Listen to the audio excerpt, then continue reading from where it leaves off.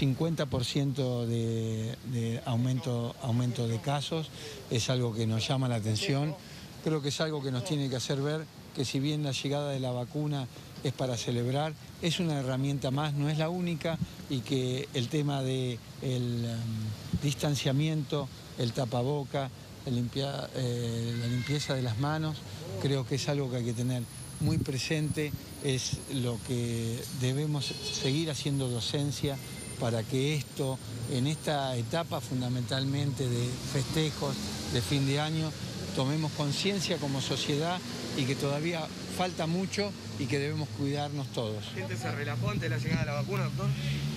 No, no sé si es antes llegada de la vacuna, yo creo que eh, son muchos meses, creo que eh, estábamos todos muy, muy cansados y, bueno, también hubo un descenso de la circulación viral, eso también hizo de que la gente piense de que este, el tema podía haber estado solucionado y de ninguna manera está solucionado y falta todavía mucho. Mencionaba 50% de aumento de casos. ¿Es un número notorio? ¿Pasó en algún momento del año que, que sea tan alto, digo, que aumente de este modo? ¿Y a qué eh, ¿Cuál podría ser el motivo que lo hayas generado, teniendo en cuenta que hace muy poquito, la semana pasada, fueron las fiestas nada más? Sí, lo que pasa es que es, llamativo el 50% porque habíamos descendido muchísimo la cantidad de pacientes que teníamos nosotros COVID.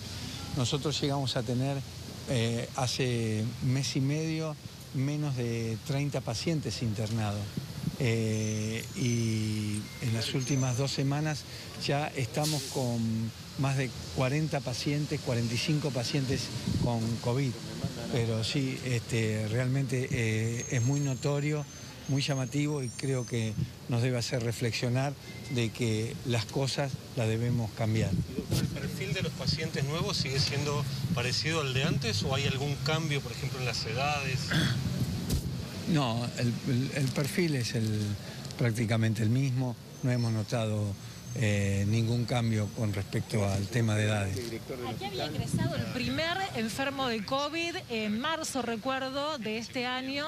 ¿Y cómo han vivido desde ese primer enfermo hasta ahora toda la etapa de trabajo? ¿Cómo ha ido creciendo, cambiando? Sí, este paciente que había ingresado creo que el 14 de marzo era un paciente que había llegado de Francia donde todavía en ese momento se discutía eh, cuáles eran los protocolos que debían ingresar los pacientes de acuerdo a su llegada de distintos eh, lugares de Europa.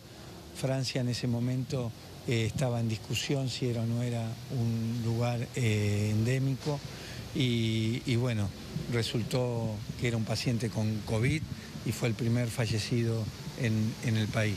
A partir de ese momento realmente este, nuestro hospital empezó a, cambiar su, modo de, trabajo. este es un hospital de alta complejidad donde realizamos todos los tipos de trasplantes, todos los tipos de cirugía de alta complejidad y, no, y, tuvimos que convertirnos en un hospital de anillo rojo donde el 100% de los pacientes que teníamos internados fueron COVID.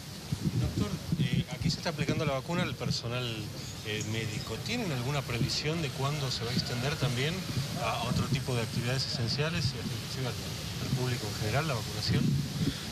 Mire, lo que tengo, lo que tengo entendido es que a partir del 15 de enero probablemente este, ya podamos vacunar al resto de, la población.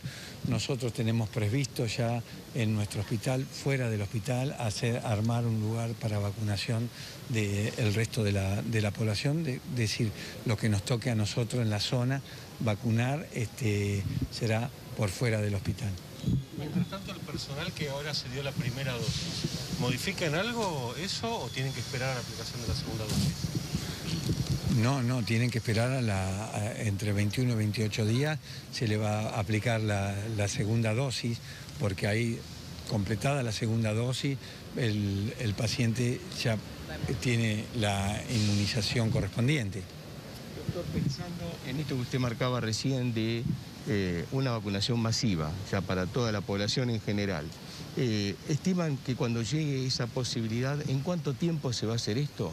¿Hay una estimación de cuándo se puede llegar realmente a atender a la población con un porcentaje importante vacunado?